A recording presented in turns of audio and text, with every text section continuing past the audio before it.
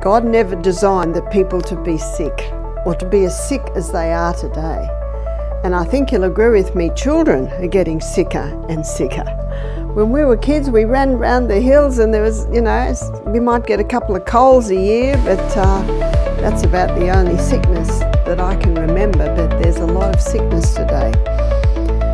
And there's a reason because Newton's third law of motion states to every action there is an equal and an opposite reaction, and this should be on the tip of our lips at every stage. What is the reason? Why are these things happening? Proverbs 26, verse 2 states that the curse causeless shall not come. In other words, no problem happens without a cause. There is always a reason. And if you're ever told, if you're not well, it's just you, it's just something that happens to you, you've got every right to say, that's very unscientific, because there's always a cause.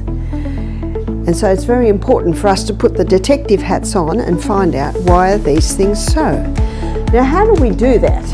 One way to do it, and it's an important way to do it, is to look at the history because we are a combination of everything that's ever happened in our life. Yes, our genes. Yes, the um, conditions that we were raised in, whether that be the physical, the mental, the spiritual, the emotional. We're a combination of all that. So history is very important. And symptoms. Symptoms are the body saying, Excuse me, can you do something? Something's happening here. I need you to listen to me. I need you to respond. And then you try different things, and your body's response is your guide. Your body's response tells you, ah, this is a good thing to do. No, don't do that again. And recently, having injured my hand, I listen. and this hand tells me what I can do and what I cannot do. It's quite simple. I believe everyone should be their own doctor because only you know what you've been through, only you know how your body responds or reacts to things, and only my hand could tell me what hurt and what didn't hurt.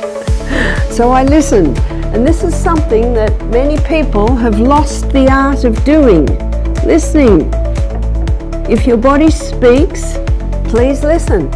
And if you don't listen to the first whisper, the body will start screaming.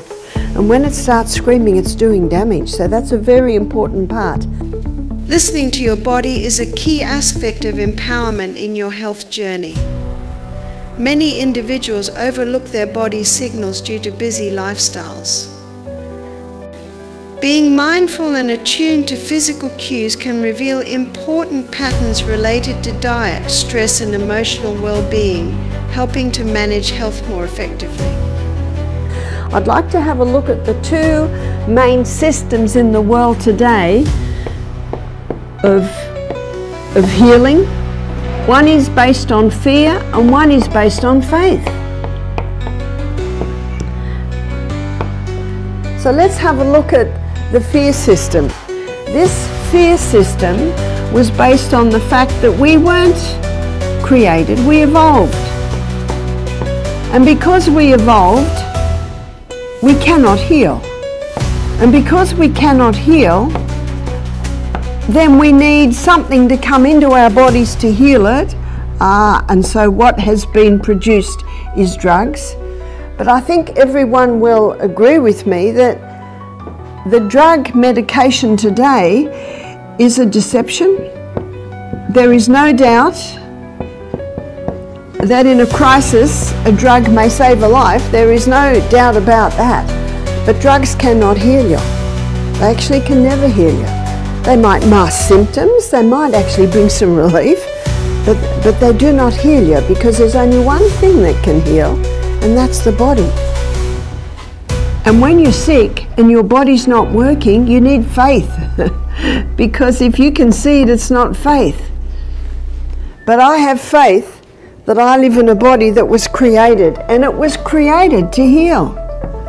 It's an amazing process that whenever an injury happens to a body, immediately there are these incredible systems that are activated to start healing that body. We were created to heal. And when we're not well, maybe there has been an injury, not drugs, herbs. God also created the herbs.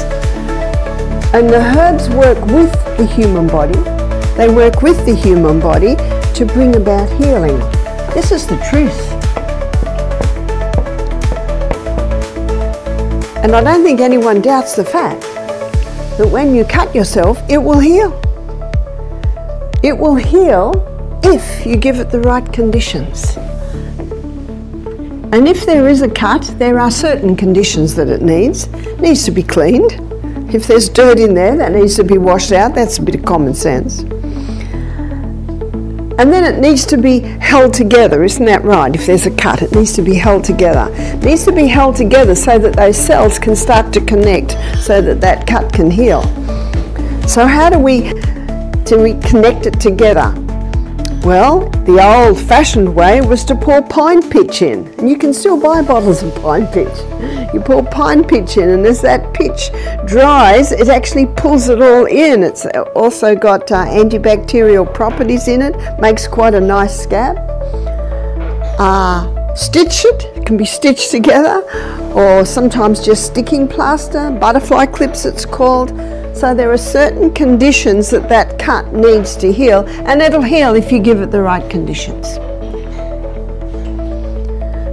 We've looked at a three letter word and a two letter word. Now we're looking at the one letter word, and that's I. I am the master of my destiny. I'm the one that chooses what I do and what I do not to do to my body. And if I got a cut, I can choose will I put pine pitch in it? Will I go and have it stitched? Will I cook, put sticking plaster on it? And of course, that hurts very much, and your body's response is the one that tells you this, this is a good way to go. God's government is a government of freedom, and freedom was based or is based on free choice. And God gave each human being the honor, the right, the ability to choose.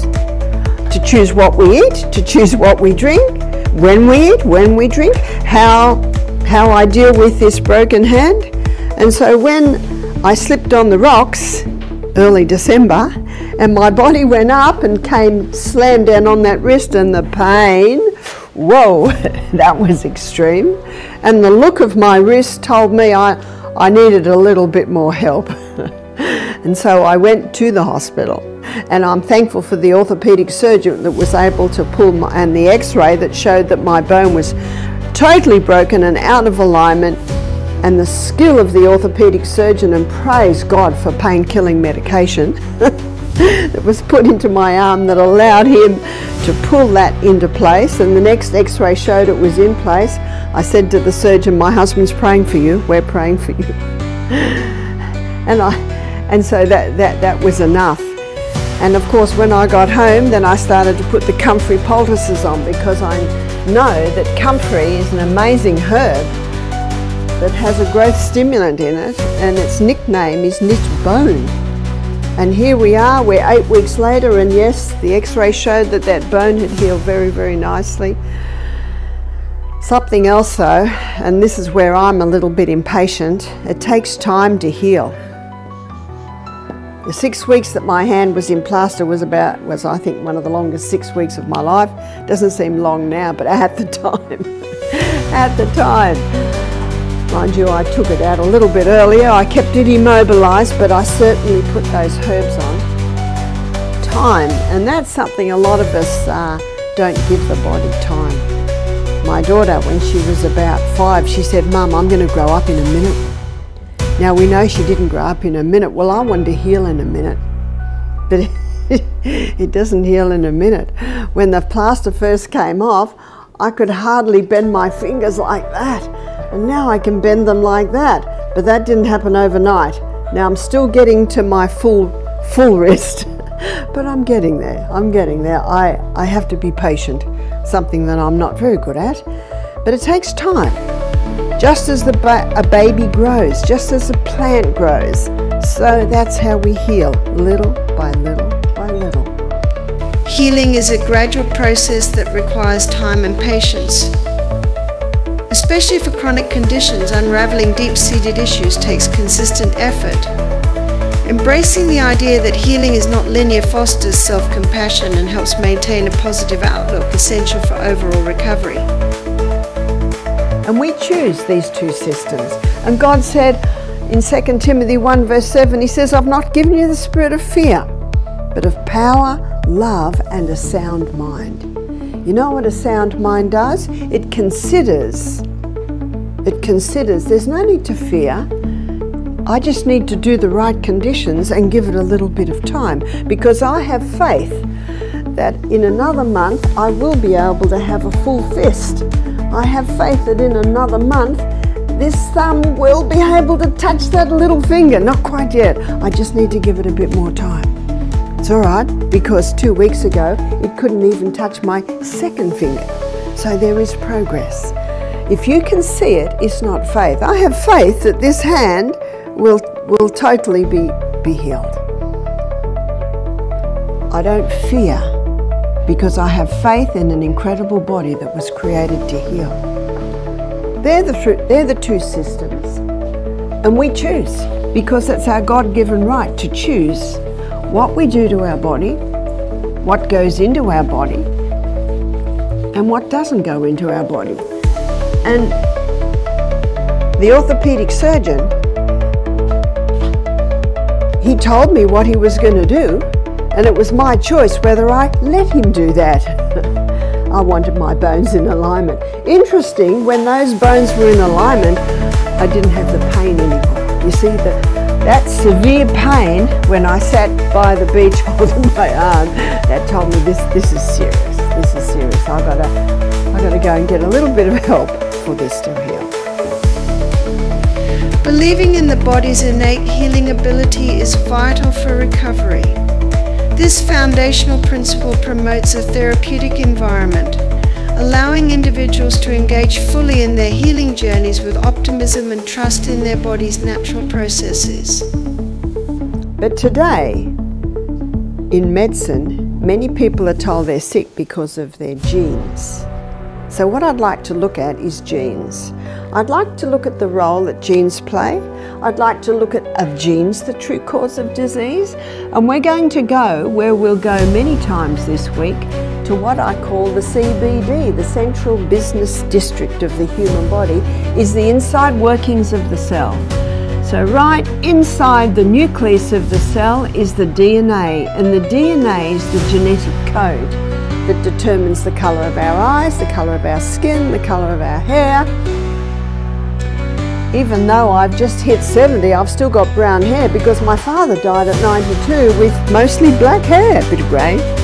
My mother died at 51 with brown hair. So both, both sides of my genes, and we've got 23 chromosomes from our mother, 23 chromosomes from our father. So both my sides were were not grey. The DNA is a fascinating thing, and if you stretch out the DNA, it can be two metres long and it's got a huge amount of information in it. If you put all the information that was in the DNA into alphabetical language, put it into paperback books, it would go to the moon and back. I can hardly get my mind around that. It's like an intense library. And this DNA is made up of the food that we eat. The outside strands are made up of polysaccharides. So polysaccharides basically means many sugars. And everything we eat is made up of many sugars. The juice that you're having, you're having liquid food at the moment, it's made up of many sugars. That's the outside strands. The inside bands is made up from amino acids, and amino acids is a breakdown from the protein that we eat. And you're getting your protein in your protein drinks. Yesterday, that lovely meal that you'll probably dream about for the next two days. Those um, sunflower burgers with sunflower seeds, a little tofu. There's, there's the plant protein there. And they're all glued together by minerals. Minerals literally glues us together. Hippocrates said, let food be your medicine and medicine be your food. And he didn't know what I've just shown you now. that our very DNA is made up from the food that we eat. Nothing we do can change the fact, nothing I can do can change the fact that I'm white skinned, blue eyed, brown haired, around five foot two. So it seems like nothing I can do can change the fact that my mother died a cripple in a wheelchair with rheumatoid arthritis at 51. It seems like a, a, a little step. But though I cannot change the colour of my skin, my height, I can change the genes regarding my health status. Isn't that good news? Because you probably noticed that I'm not a cripple in a wheelchair with rheumatoid arthritis and I'm way past 51. I'm so glad that though genetics may load the gun, it is lifestyle that pulls the trigger. My mother didn't realise that so many things she was doing was actually feeding her arthritis. Many people are sick through ignorance, not realising that their lifestyle, even actually your um, emotional status, even what we think, definitely what we eat and drink, can turn our genes on or off. So I've been born with inherited genes towards rheumatoid arthritis, but I don't have it. Research in epigenetics shows that lifestyle choices and emotional health can influence gene expression. While genetics may predispose individuals to certain conditions, factors like diet, stress, and social environments often determine whether these potential issues manifest. But I have had a sore thumb for a couple of years and I wear a castor compress on it every night and it's happy. And so when they x-rayed my wrist, I said, did you see anything on that thumb? Because it's taking a bit longer to respond, though it is responding. And the doctor said, oh, there's a bit of uh, osteoarthritis there. And I thought, aha, I knew there was something there. And I was so happy. Why was I so happy? Because I've just hit 70 and that's all I've got, whereas my mother was a cripple in a wheelchair. Genetics loads the gun, but it is lifestyle that pulls the trigger. And that study is called epigenetics, the effect of our food, our lifestyle on our genes. We can actually turn those genes on or off by what we're eating and drinking. That's the good news.